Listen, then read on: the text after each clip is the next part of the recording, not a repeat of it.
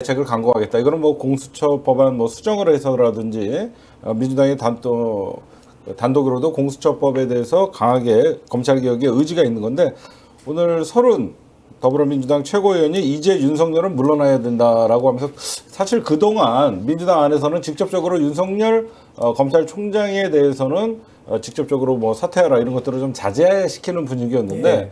어, 어제 윤석열 총장의 신임 검사들과의 어떤 대화에서 당부 말씀이 그때 말씀에서 그런 이후에 민주당의 어떤 반응 그리고 우리 민주정의 반응이 굉장히 윤석열의 정치 쇼다라는 얘기들이 많이 나오는데 우리 곽동수 선생님이 보실 때는 어, 서른 어떤 최고위원이나 이런 분들의 발언 그리고 윤석열의 어, 어제의 형태 이후에 언론의 보도 형태나 이런 거 종합적으로 한번 말씀을 좀 해주시죠. 서른 의원은 다른 것보다 최고위원이 뭘 해야 되는지를 제대로 알고 계신 분이에요. 음. 그러니까 때로는 좀 지나치다라는 평가를 갖고 있지만 해나가야 될 말을 하는데 워딩이 이렇습니다. 윤 총장의말로 엄정한 법 집행이나 진짜 민주주의를 언급할 자격이 없다. 조국 전 법무장관은 먼지 털듯이 대대적으로 수사했으면서 나경원 전 통합당 원내대표는 12번이나 고발당했는데 수사 상황이 감감무소식이다. 네네. 거기에 본인의 장모는 진정서 접수 5개월이 지나서 소환 조사를 진행하는 등 늑장 수사로 대응했다 하면서 이 뒷말이 재밌습니다. 윤 총장 최측근은 독재 시절에는 있을 법한 정치 공작을 시도했던 의혹까지 받고 있다. 이게 정말 중요한 거죠.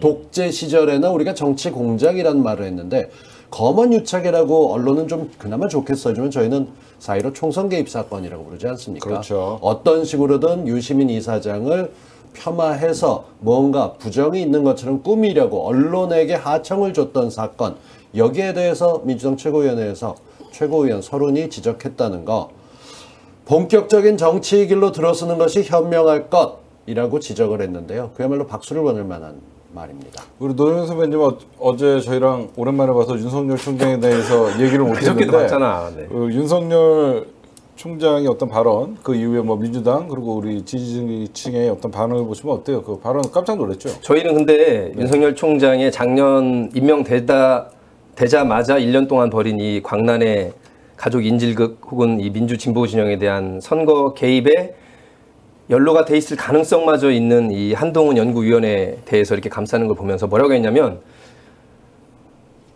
게임도 안 되겠지만 우리가 윤석열을 영웅을 만들면 안 된다고 우리가 미리미리 했어요. 그렇죠. 그래서 사실은 서른 최고위원이든 아니면 여권의 국회의원들 혹은 정치인들이 사퇴 카드는 좋아요. 탄핵이라는 얘기는 시민사회나 우리 지지자분들은 좋습니다. 네네. 근데 차고도 넘치죠.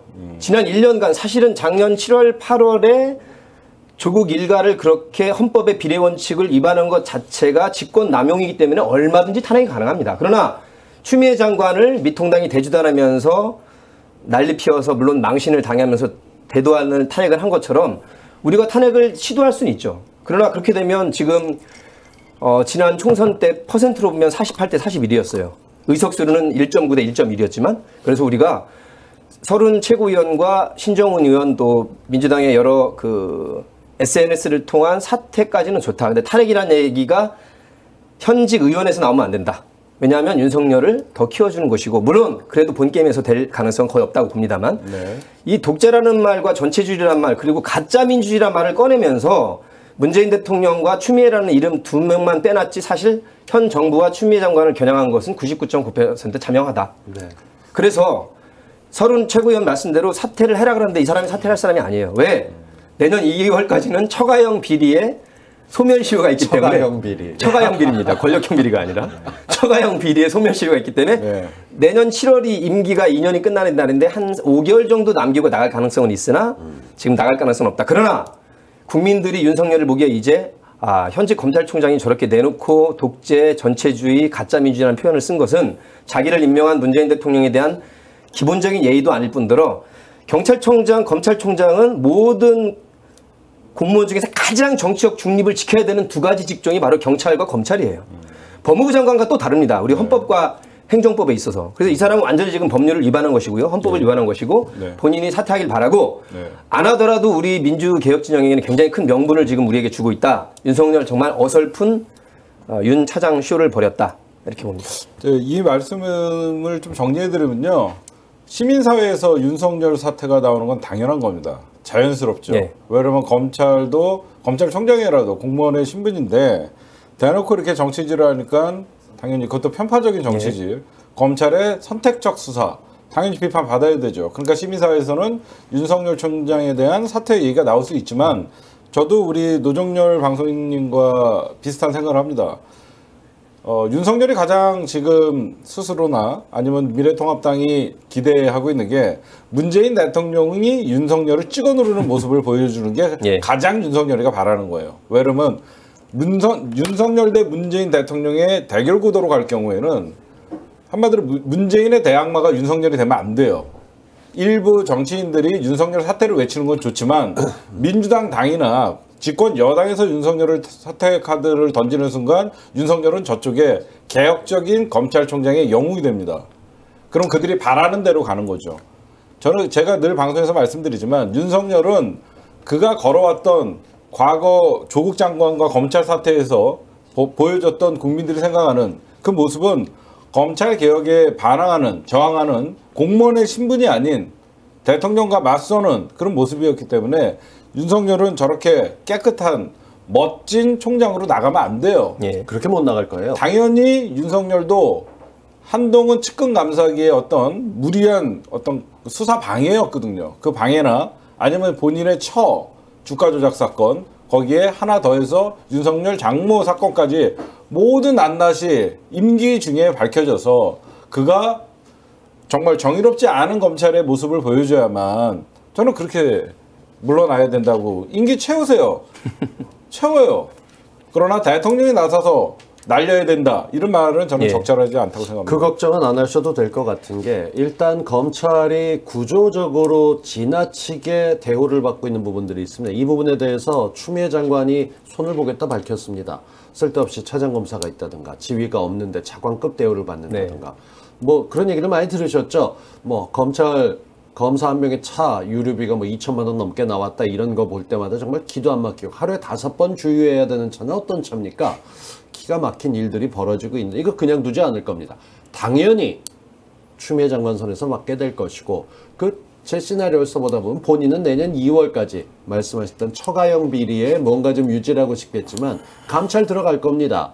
권력을 남용하거나 방임하거나 혹은 지금 논란이 되고 있는 이 한동훈 사건에 뭔가 개입했다는 게 나오다 보면 그렇죠. 2월 되기 전에 1월쯤 엄청난 징계를 받게 되고 그리고 그 안타깝게 며칠만 더 버티면 되는데 기소가 이루어지는 걸 전 희망합니다. 그렇게 돼서 내년 2월에 검찰총재 날아가고 안정적으로 4월에 재보선을 치를 수 있게 될 거라고 생각을 하기 때문에 조금 더 참고 기다리시고 추미애 장관에게 힘 실어 주셔야 됩니다. 공정하게 제대로 해나갈 수 있게 힘을 밀어주시면 됩니다. 그러니까 우리 국민들은 우리 시민들은 얼마든지 윤석열 사퇴, 윤석열 구속, 뭐 탄핵 얘기도 여러분들은 하셔도 얼마든지 됩니다. 네. 탄핵 다 외치세요. 예. 그러나 정치권에서 굳이 민주당이 집권 여당 180석 거대 여당에서 윤석열 급을 키워줄 필요 없어요.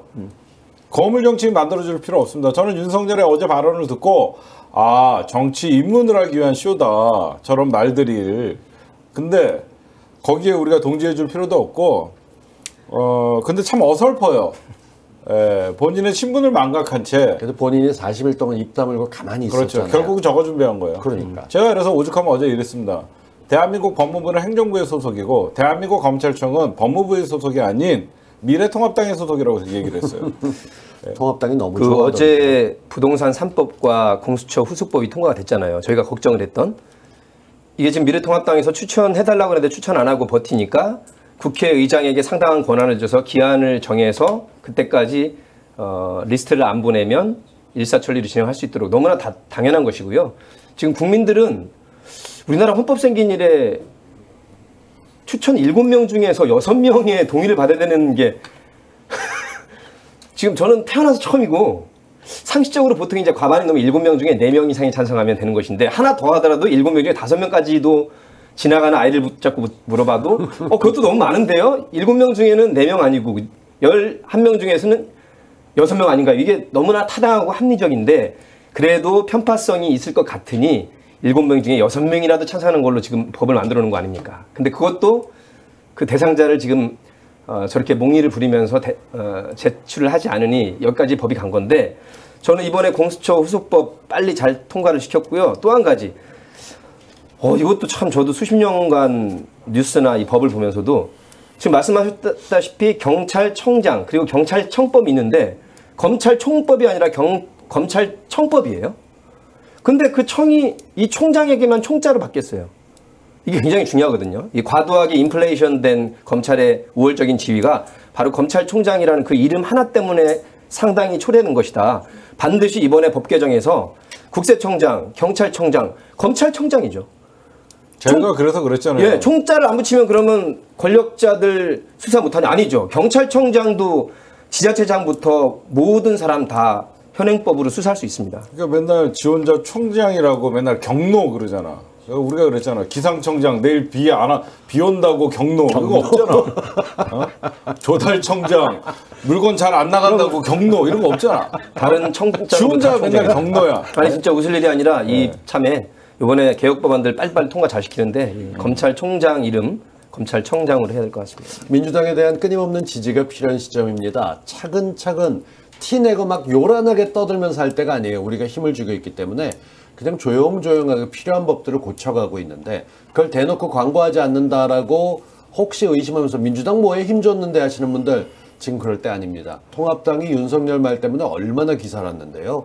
거기다 온갖 얘기들로 지금 민주당을 공격하고 있는 상황입니다. 잘 견뎌야 되니까 변함없이 성원해 주셔야. 지금 응원하는 게 지난달 말에 임대차 3법 그리고 어제 부동산 후속 3법과 공주처법 후속법 너무 잘 통과시켰어요. 맞아요. 이렇게 하라고 저희가 180석 만들어 준 거고요. 어제 안 했었으면 최소한 두 달 이상 되는 그렇죠. 거거든요. 너무 잘하고 있고 이런 거는 법이 통과됐기 때문에 홍보를 굳이 안 해도 그 법인세, 소득세, 그다음에 종합부동산세 아무튼 소득이 있고 가진 사람이 조금 더 어, 세금이라는 걸 통해서 사회 정의에 부합하도록 한다는 그 강조점만을 강조하면 나머지 세세한 것들은 어제 안 소장님과 우리 김현정 위원장이 잘 설명을 했지만 그 정도로만 가도 저희는 속도 조절 굉장히 지금 잘하고 있다 이렇게 보고 있습니다. 제가 좀 하나 짚어드리면 사실 저는 윤석열의 발언은 어, 법무부의 검찰 인사를 앞두고 이제 사실상 윤석열의 특수부 자체가 법무부는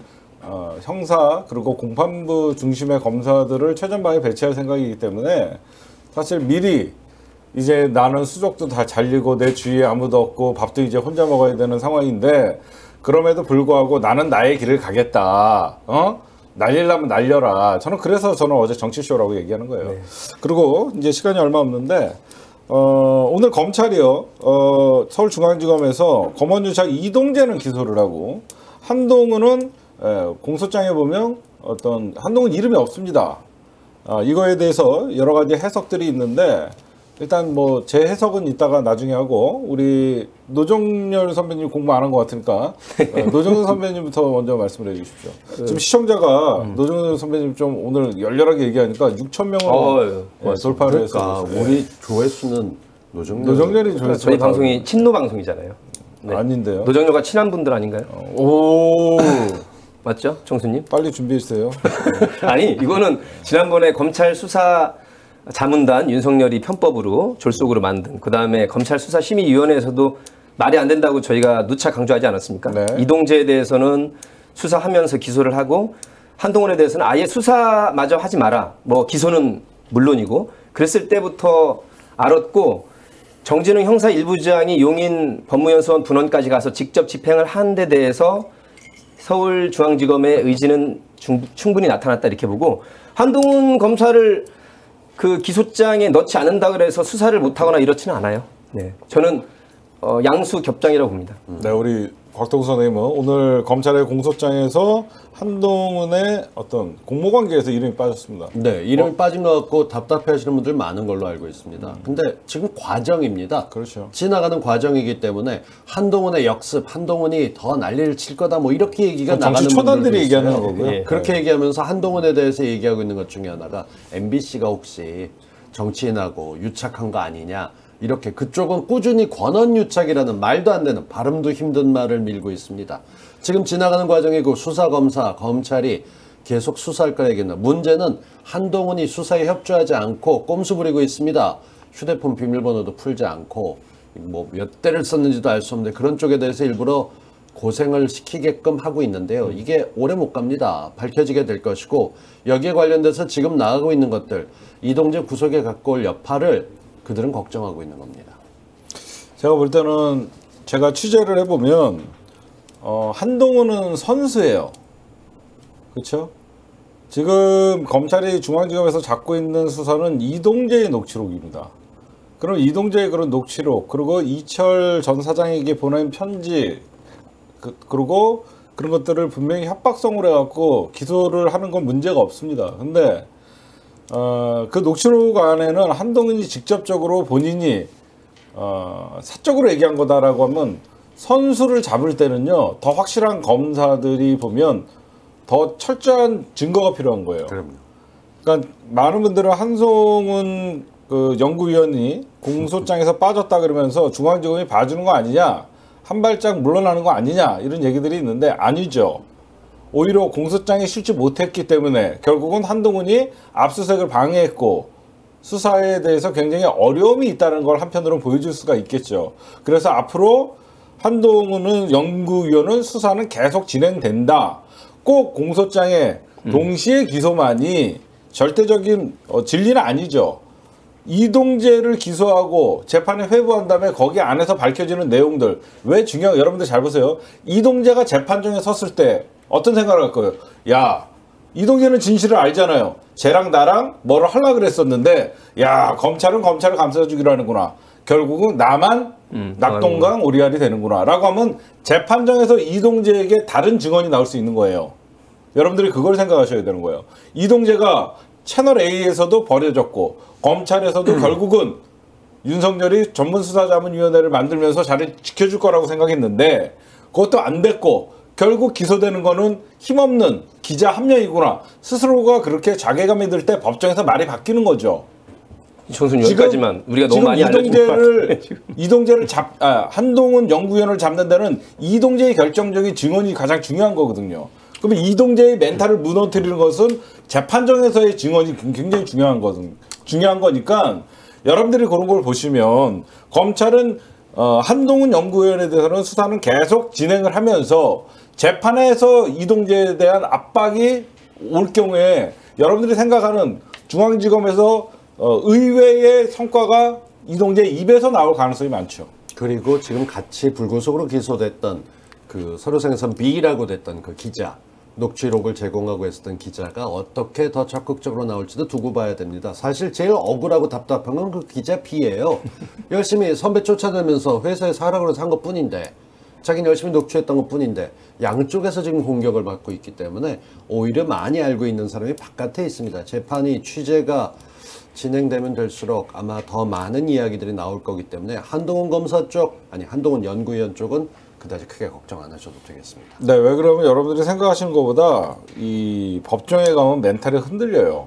그래서 검찰들이 늘 쓰는 게 구속영장 청구하고 구속부터 시키고 나서 조사하는 이유가 그런 면이 있는 거거든요. 그러니까 여러분들이 에, 지금 법무부의 이제 인사, 아, 검찰 인사가 내일 벌어지고 하면 아 정말 검찰총장 윤석열도 이동재가 생각할 때 끈 떨어졌구나라고 느낌을 받는 순간 법정 증인원들이 나올 수 있으니까 검찰의 수사를 지켜볼 필요가 있다.